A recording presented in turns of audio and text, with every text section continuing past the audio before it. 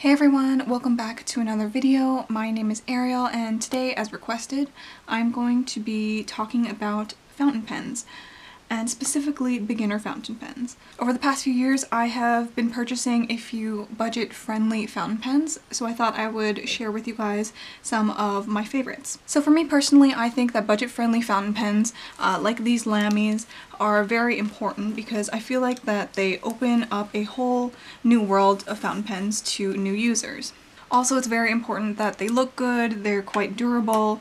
Um, if you are a student, you also want to make sure that they are quite um, like workhorses. You can write as much as you want. So all of these fountain pens for me, I really do think that they fit that bill. Um, I think they are all really good quality and I think that they are very good for students and if you are a beginner fountain pen user then I think these are at a very good price point as well. So for me, I enjoy collecting fountain pens that I know um, are good quality but also don't have a very big price point. Um, so I think the most expensive fountain pen that I have here are the Lamy Safaris here in the center. Um, I think in Canada they can kind of go for around uh, maybe $30-$35 Canadian. Uh, in the US obviously they would be much cheaper. I know there are also many people in the planner community specifically that also um, say that the uh, TWSBI Eco or Echo um, is quite a affordable pen as well. I think in the US it's very affordable. Here in Canada it's maybe around the $50 price point so all of these fountain pens are much cheaper than that. But I do have the TWSBI on my wish list. Maybe eventually I'll get it but for now I'm quite happy with the fountain pens that I have. So because we're talking about fountain pens and beginner fountain pens, um, I'm going to talk about my very first fountain pen in this video, and that is this one. So this Platinum fountain pen was my very first fountain pen and I really enjoyed it obviously because I went to purchase a few more both from this brand and from others. The reason why I got this fountain pen was because it had an aluminum body. A lot of other budget-friendly beginner fountain pens are plastic like these ones. Um, however, I wanted to try an aluminum for my first one because I was I guess a little bit extra. I really like the detailing here, I really like the silver hardware, and through this fountain pen I sort of learned a little bit more about the fountain pen community. I really like the construction of this fountain pen. I think it feels really nice in the hand. Because this is an aluminum body, it can get cold so if you are in a cold climate. Um, I am living in Canada so sometimes it does get cold but it warms up really well in your hand afterwards. Personally, I really like posting my fountain pens. I don't tend to write without the cap on, and that goes for all of my fountain pens, but I really like these platinum fountain pens because they do have a slip and seal technology, which I will talk about a little bit later. So for my very first fountain pen, I wanted it to be a very good workhorse. That's why I went with Platinum, which is probably one of the biggest brands um, for fountain pens in Japan. So I went super simple with my platinum fountain pen here. This is the Plaisir, by the way. For the past how many years that I have owned this fountain pen, I have still been using um, platinum cartridges, which I think works really well. Um, the cartridge is quite big and as you can see I do have black ink. For the past few years I have been writing a lot in black ink and I find that these cartridges can last me around uh, three to four months. I don't use it to write in anywhere else other than my journal in here so that can last almost um, my full Hobonichi Avec book um, if you're familiar with those. Um, but I think these are a really good affordable fountain pen, especially for beginners, um, because I think it's just so easy. Like I mentioned earlier, it does have the slip and seal technology, which means you can use this fountain pen for literally years. If you just so happen to leave this fountain pen um, for a couple of years with the same ink cartridge or whatever you have inside and you pick it up um, a couple years later and you try and write with it, you're still going to be able to use this fountain pen. The ink will not dry out if it's capped. So that's something that I really like about platinum pens and because this was my first fountain pen, this does have a special place in my heart. I think many people are like that with their fountain pens um, and I guess I'll talk about it a little bit later um, as I move on to my Lamys. So I do really like this fountain pen. It's sort of like the step up of the Platinum Preppy, which has a plastic body. Um, and also I think there is the Prefounte, which I think is similar. Uh, but another great thing about this Platinum fountain pen is that you can switch the nibs out between all of them. You can even switch the caps out. For example, this is another platinum fountain pen here uh, that I recently have that I'll talk about a little bit later. I'll be able to switch out the nibs if I want to and even the cap um, of my other one fits perfectly on uh, this Plaisir. So that's something that is really interesting about these um, and something that I really like. So this Plaisir fountain pen definitely opened up a new world to me um, of fountain pens and I'm really happy with it. Um, I still use it quite a bit and I think it's a pretty good workhorse because it's quite sturdy and it also has a clip on it as well. So I think it'll be good for students um, if they want to clip it into their notebooks or something like that. So moving on to the Lamy Safaris, I think that a lot of people do choose Lamy Safaris as their very first fountain pen. Not only does the design look really nice, I think it's very classic, um, but they come in a variety of different colors. These ones are the special limited edition colors from the 2019 lineup, I think. I am missing the pink one, but I do really like both of these colors, and I have both of them inked up right now. And I do also have a few other ones. Where did my Delphonics pouch go? As I unbox these, I'll talk a little bit um, about the Lamys. So, um, I believe the Lamy Safari line uh, was created to cater towards the beginner fountain pen users. And I think that's a very good idea because, uh, like I said, if you are sentimental about things like I am, um, your very first whatever will be um, something that is always very close to your heart. Personally, I think that Lamy Safaris are at a very good price point, so whether you have moved on to another brand, another more expensive brand, the Lamy Safaris are still something that are very classic and that I still think a lot of people um, really enjoy. So as you guys saw, I did unbox a few other fountain pens here. These are also Lamy Safaris, but these are the special edition 2020 ones. I am missing one, which is the Mango. Um, I just decided to get these two colors.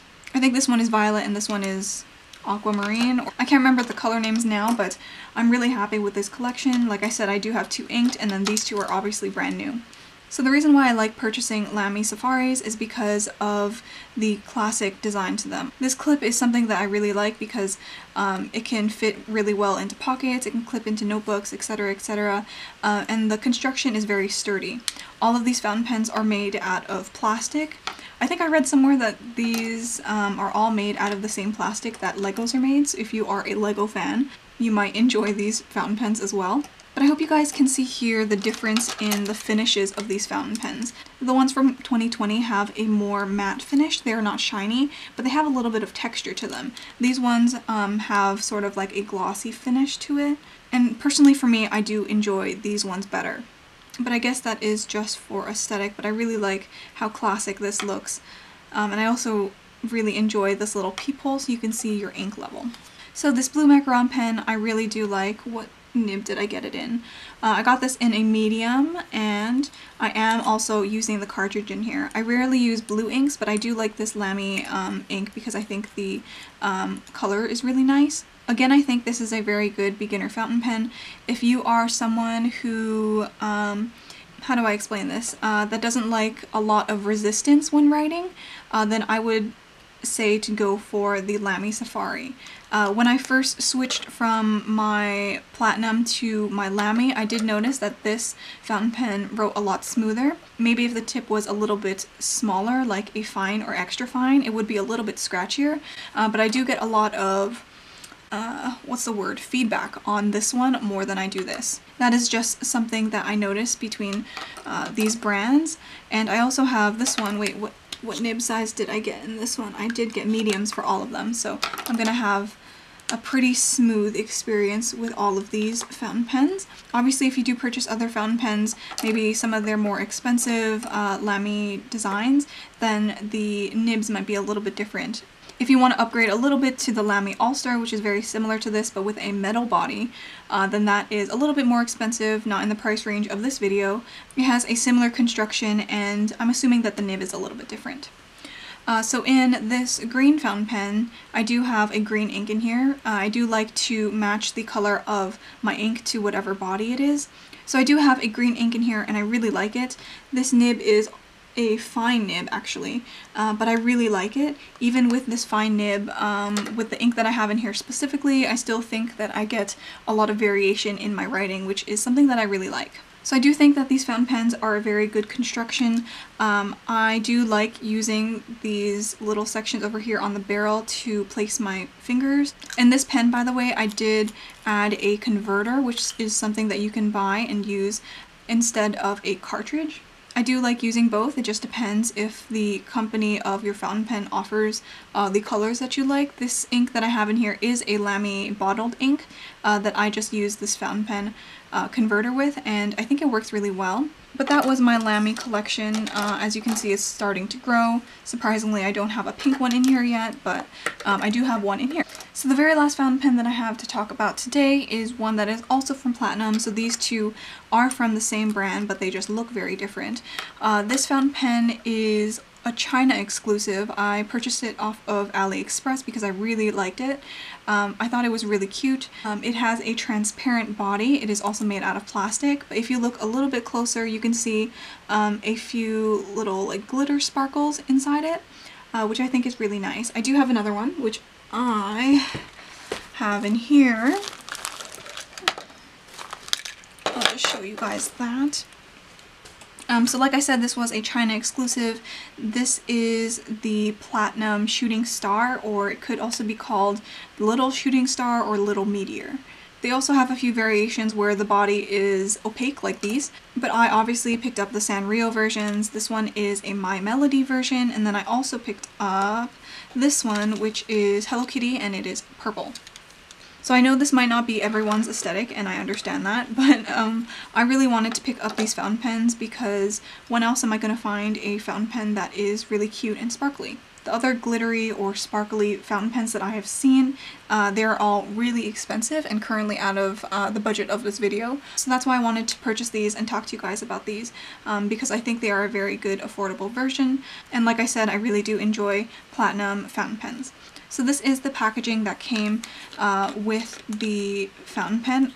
As you might notice, it is geared towards students. I'm not a student, but um, I do really appreciate cute packaging. Uh, so this is sort of like a test tube. It has a few stickers, uh, has a Sanrio seal on the bottom here. Uh, but what I really liked about this pen was not only did it come with a cartridge, this is what the Platinum cartridges look like. Um, it's black by the way. But this fountain pen also came with a converter, which I currently have in here right now. So the converter that came with this fountain pen is plastic. It's much like the ones that um, are in Lamy, but I know that also offers a more expensive converter uh, that has uh, some metal or maybe maybe it's aluminum parts as well. But I thought it was a great deal to pick up this because not only do you get a really cute uh, fountain pen body, uh, but you also do get a cartridge as well as a converter. So that's why I got it and that's why I think it's a very good affordable pen, especially for students. So for me personally, using this converter was a lot easier than using the Lamy one because the Lamy one is a piston filler so you um, like twist the top of it to make the piston go down and then you make it go up and then you make it go down again in until your converter is full. Uh, for this one it just has this little lever that you push um, like this, you just go up and down like this. There's no twisting involved, but you just do it like maybe three or four times. Um, and the ink will go through the feed and all the way up into your converter. So I really like these and I think they do offer them like to purchase separately. I'm not sure if you can get them at some other larger places, but I really like this converter even though um, it is essentially more affordable and made with cheaper materials. So I really enjoyed this fountain pen body because I think it is weighted very well. Um, I think this is the longest fountain pen that I have. Let me just see. No, I think the Lamys are just about the same. So I hope that you can see this, but the fountain pens are just about the same height when they are posted. Maybe this platinum one is just a little bit longer. But like I said, uh, the reason why I enjoy using this fountain pen is because the construction is very sturdy. Being a fountain pen that is geared towards students, you need to have something that um, can be sort of like a workhorse. You know, they're not going to take too much time to fill it. They're not going to take too much care with it. They're just going to put it in their pencil case and go. They have a lot of things to do, a lot of studying to do, a lot of writing. So I personally really like the shape of this. As you can see, it's a little bit tapered towards the end. And like I said before, it does have the platinum uh, slip and seal technology in it. So even if you leave this fountain pen for an extended amount of time without use, the ink inside will not dry out. I don't know if you guys can see this in this fountain pen. Um, I can see it here because it is transparent, but there is a little spring inside uh, this cap here. Obviously you won't be able to tell in here. Um, but there is a little spring inside with sort of like a conical uh, like hood over top of it so that encases the nib. So that is how your fountain pens won't dry out, which is really cool. So I'll quickly unbox this one uh, so you guys can see what you get. I also want to show you how cute the fountain pen is. Um, so I just took it out of the test tube like packaging, which is something that I really like by the way, because you can always reuse this uh, for something else. Uh, the Lamys just come in cardboard, uh, like you saw earlier, like this. Uh, but this is, again, uh, the cartridge for the Platinum, which is very easy to use, and then this one is the converter, which has a ball agitator inside, so you can shake it and get the ink moving. Even though this is a relatively cheap converter, I still think it works really well because all you need to do is um, push this up and down like that and it's like for me 10 times easier. It took me a while to um, get the ink up in my Lamy converter but this one literally took two seconds. So I will try my best to link all of these fountain pens. These ones I got from AliExpress. I do have an AliExpress um, coupon code that you guys can use. You can try and use it at the store I purchased these from, but you can also use it on other things from Ali, so I will leave that code down below for you guys to use um, because I think it's like 25 bucks um, or even more, maybe $30 worth of coupons. So I will leave that down below just in case if you guys want it, and I'll also try and link all of these as well. I'm very happy with all of these beginner fountain pens. I think they're um, all very good workhorses and good for um, the price point. Personally for me, if I know a fountain pen is going to work well, um, it's going to last a long time, is very um, good construction and a very good value. I mean, what more can you want? I don't know if you guys can tell just from this video today, but if I really like something, I tend to purchase that thing in various different colors. So as you can see, my Lamy collection, and I do know there are two more colors in this collection of the Shooting Star that are the Sanrio um, ones, so I think I'm still going to purchase those to finish out that collection.